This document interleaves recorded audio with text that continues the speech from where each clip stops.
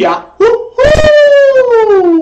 Welcome, my beautiful brothers and sisters, fellow radiators of love, to Astro Fenixx, flying into the moment yet again and radiating love as always. And welcome, Taurus Sun, Taurus Moon, and Taurus Rising.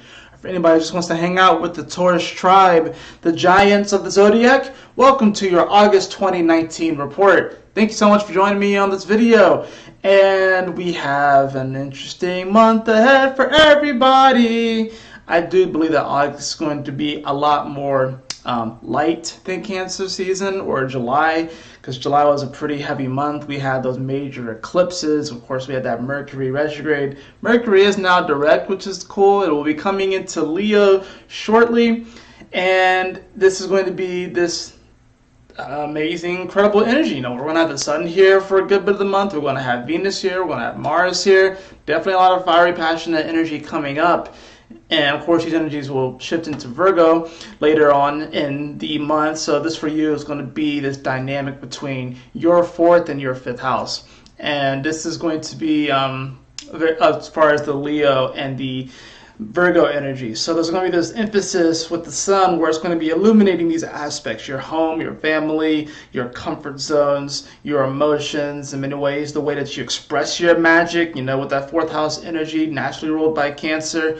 And then, of course, we'll be shifting into Virgo, which is going to be talking about your reality and how to actually bring your joys into your reality and actually make manifest them. But, anyways, we have some cards here for you all. I'm going to be drawing five tarot cards, one for each week of the month, and an overall tarot card. And then we have two oracle cards to complement them as well. So, let's get into it.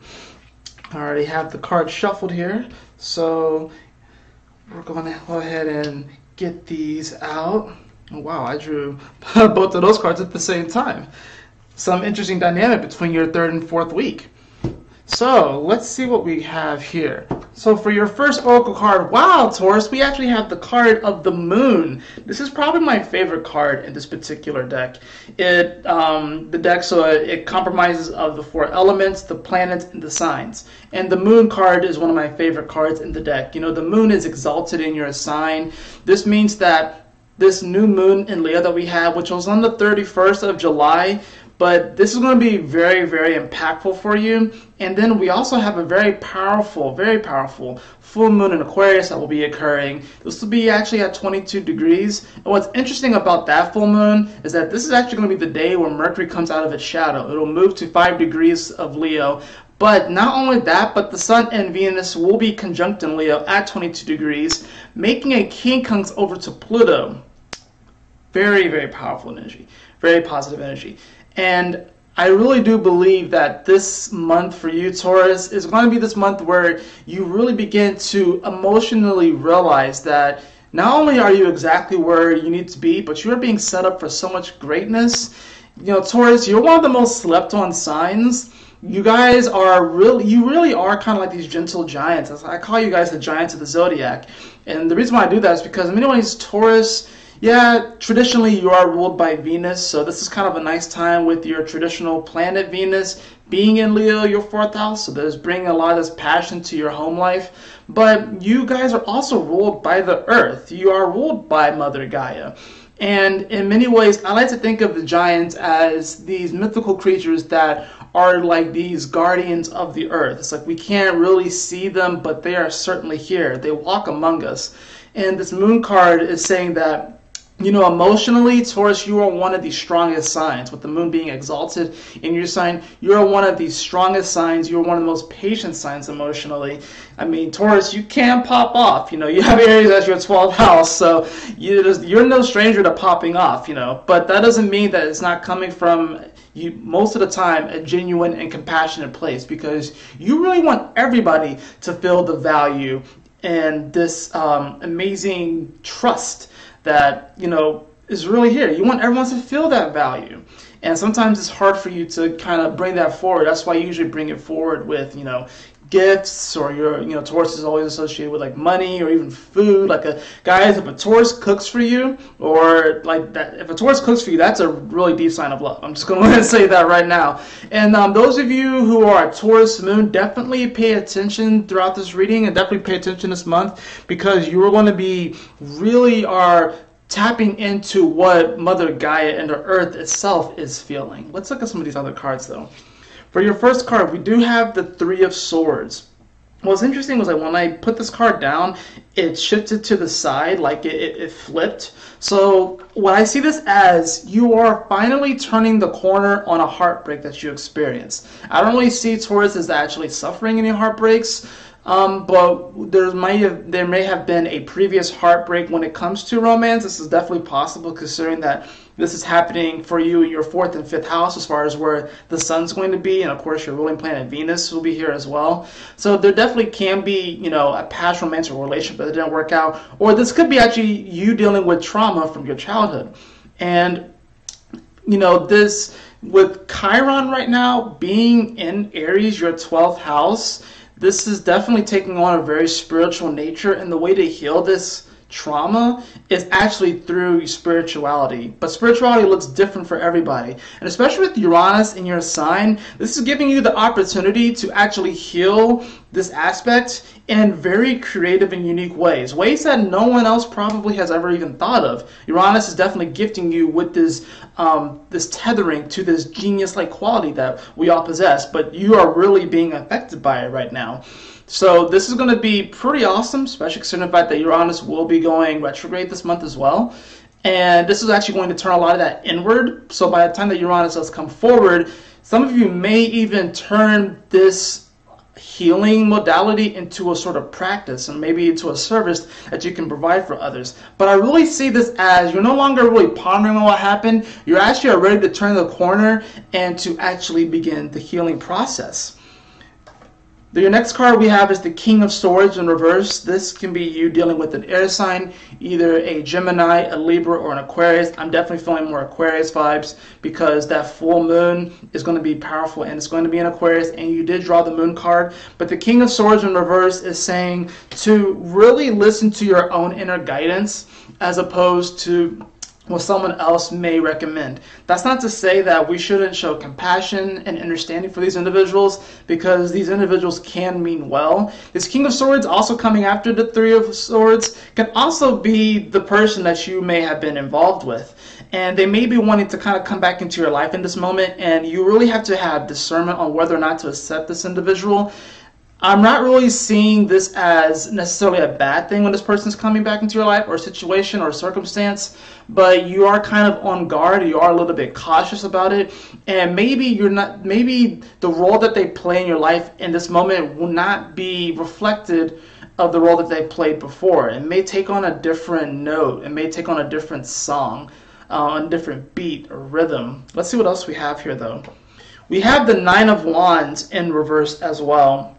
So the Nine of Wands in reverse is saying that you really actually do need to let your guard down, uh, which is funny because, you know, with the King of Swords and the Three of Swords here, um, the King of Swords reverse and the Three of Swords here, there's definitely this sort of remembrance of what happened before.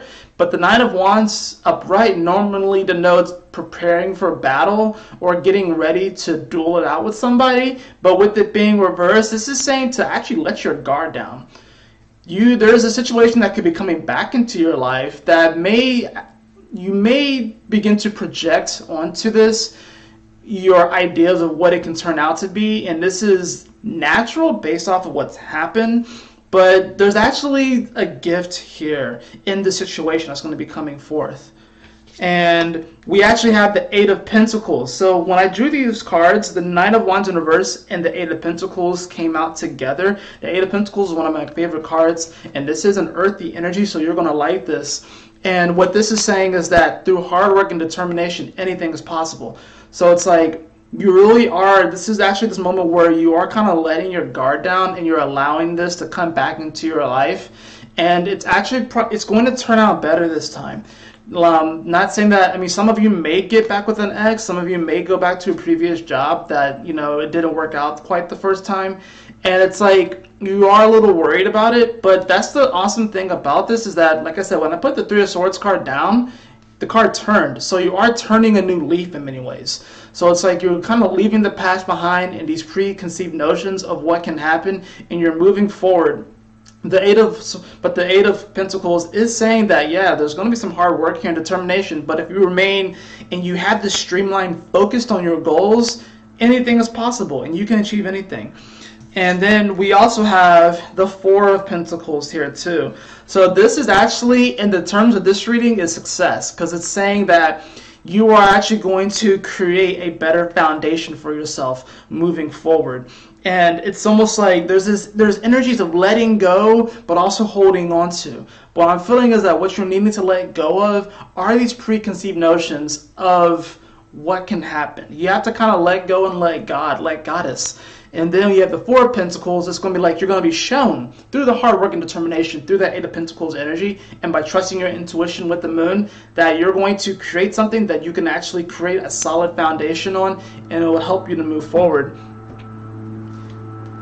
I don't know if you guys can hear it, but there's uh, someone who's like blowing leaves outside. Your final card. Ooh, I love this. We have the card of alchemy. Let's see if I can let this person go by. They were out here yesterday. They're like right outside the door.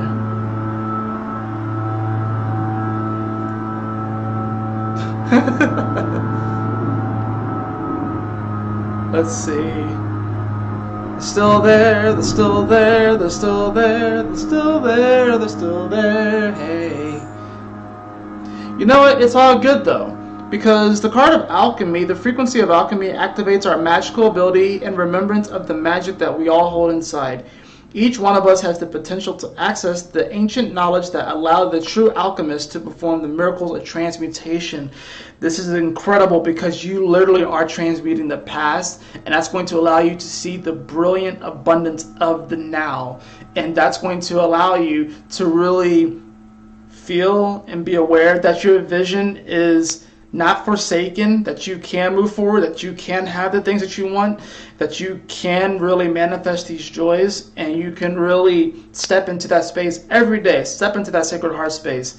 Alchemy is beautiful here because it's like you literally are taking these aspects of these past, these wounding, and you are actually gaining great healing from it.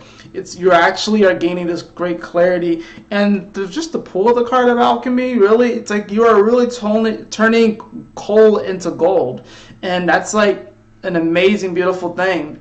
I feel like a lot of this for you is going to be along the mental realm where it's like these perhaps negative thought patterns. And we all have negative thoughts every single day, and it's not bad to have negative thoughts. But when we ruminate on those negative thoughts, when we allow those negative thoughts to take over our being, it's hard for us to move forward. It's hard to act accordingly or in accordance with our spirit, what we really know to be true. Alchemy here, though, is going to allow you to turn those negative thoughts into gold and you're just going to be feeling on top of the world. I'm literally getting an image, and I'm a nerd, but I'm getting the image of like, you know, a, a, like, you know, somebody. Usually it's Giovanni, whatever like that, that has the Persian in Pokemon. But like, you know, just imagine yourself sitting on a chair with. I get, it can be coins, it can be money, it can be bags of money, it can be flowers, it can be whatever it is that makes you feel valuable and then you're just sitting in this chair, you're sipping on whatever your favorite drink is, you're relaxing in the sun, and you're petting your Persian or whatever Pokemon that you want, or it can be whatever animal that you want, and you're just like, wow, this is serene, this is beautiful. I'm so glad that I trusted my I'm so glad that I trusted my emotions. I'm so glad that I trusted my deeper intuition because I was able to turn this situation into something so much more positive. That is it for your reading, Taurus. I hope that you all enjoyed it. If you did, please like, share, and subscribe. I would really appreciate it. Make sure you hit that bell to receive other notifications that I put out on this channel. And if you would like a personal reading with me, beloved, you can follow the link in the description below to astrofenixx.com. And as always, my beautiful brothers and sisters, always remember to keep moving forward, to stay focused, and Yahoo! Smile often.